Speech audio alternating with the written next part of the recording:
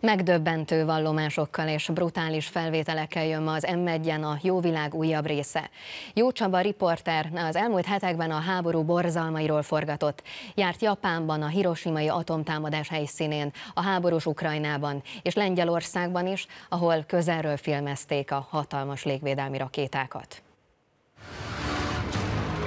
1945. augusztus 6-a. Az Egyesült Államok atombombát dob egy japán városra. Hiroshima-ra. A csak nem 80 évvel ezelőtt készült felvételek kísértetiesen hasonlítanak a mostani Harkiv utcáira. A világháború veszélyével fenyegető orosz-ukrán háború a témája a Jó Világ mai epizódjának. Jó Csaba Japánba, Hiroshimába utazott, hogy találkozhasson azokkal, akik túlélték az atomtámadást. Nyöszörögtek, sírtak, nem tudtak beszélni. Egy idős férfi arról számolt be, hogy gyermekként hogyan veszítette el a családja nagy részét, és hogyan kellett megküzdenie halálos betegségekkel, amit a hatalmas sugárzás okozott. Minden porig égett. Édesanyám holttestek és állati tetemek között kereste a rokonait, akik közül többeket végül kilométerekkel távolabb talált meg egy iskola épületében.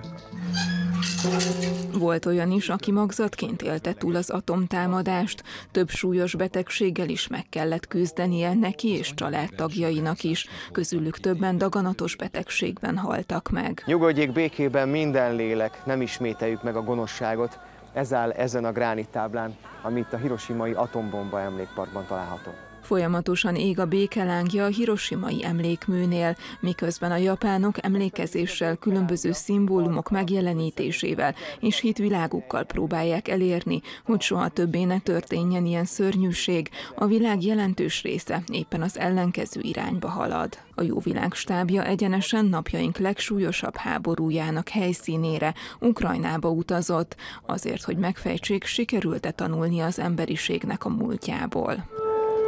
Légiriadó élesben, itt Ungvár belvárosában. Egyszer csak megszólaltak a szirénák. A műsor készítői megrázó felvételeket is bemutatnak a háború borzalmairól, köztük azt is, hogyan végzik a lövészárkokban a kis katonák és a frontra hurcolt férfiak.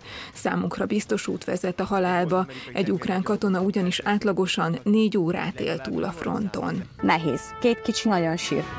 A nézők megismerhetik Gabriella történetét, aki a háború miatt veszítette el a férjét.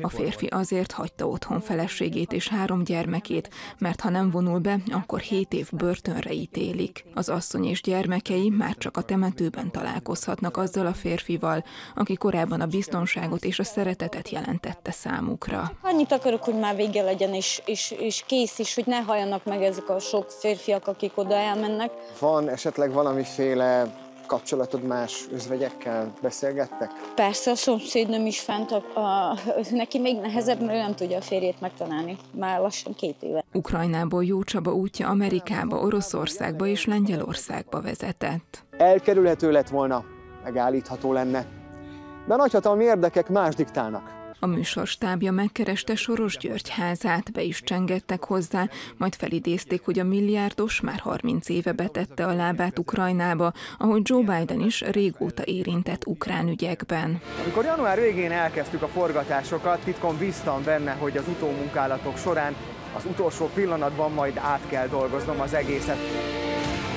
Mert radikális változás áll be, véget ér a háború, békét kötnek a szemben álló felek. A háborús helyzet azonban napról napra egyre rosszabb, ennek hátterét és mozgatórugóit mutatja be a Jó Világ ötödik adása, ami a fél nyolcas híradó után kezdődik az M1-en.